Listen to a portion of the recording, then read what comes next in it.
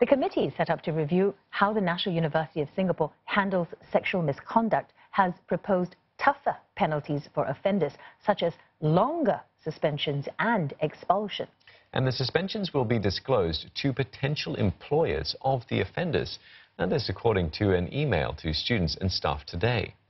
A minimum one-year suspension has been recommended for sexual offences, while severe cases could see expulsions. The committee also proposed that medical professionals issue a certification of rehabilitation before any sexual misconduct offender can be allowed back to campus. It recommended a new sanction that the suspensions be noted on the offender's transcripts.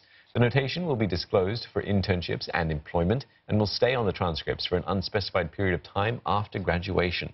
The committee added it is looking into the university's proposal to set up a care unit for victims and has commissioned an independent consultancy to carry out an online survey to gather students' views. The committee will publish its final report by mid-June.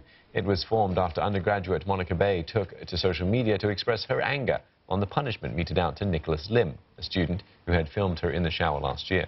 NUS asked Lim to write her an apology letter and undergo mandatory counselling. He was also banned from entering halls and residences and suspended from school for a semester.